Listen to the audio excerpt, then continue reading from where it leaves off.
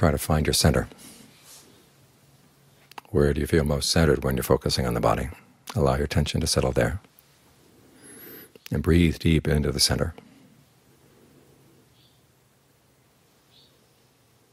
This way you can get established, because otherwise the mind gets blown around. They have the image of a well-trained mind being like a stone pillar, 16 spans tall, 8 spans buried in the rock. The winds blow from all eight directions, but the pillar doesn't shake. In the same way with a well-trained mind, the gain and loss, status, loss of status, praise, criticism, pleasure, and pain. They can blow from their various directions, but your mind doesn't have to shake in line with them, because you realize you've got something better inside.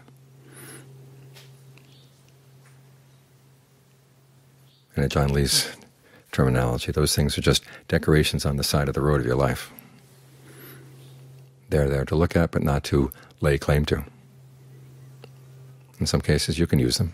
In fact, they all have their uses. Even loss and loss of status and criticism and pain have their uses. And it's part of wisdom to realize how you can get the best out of good and bad things. But it requires that the mind be able to separate itself from its wanting to identify only with the good things and to push away the bad things. Because when you grab onto the good things, you don't really see them clearly. They're all hidden in your hand as you're grabbing. As for the bad things, you don't see them because you're pushing them away.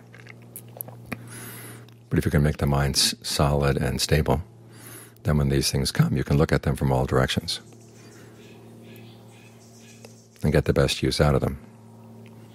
When gain comes, oh, what's the best use of your gain for the sake of the well-being of your mind? When loss happens, what are the good lessons you can learn from loss? Well, you learn you've got some resources inside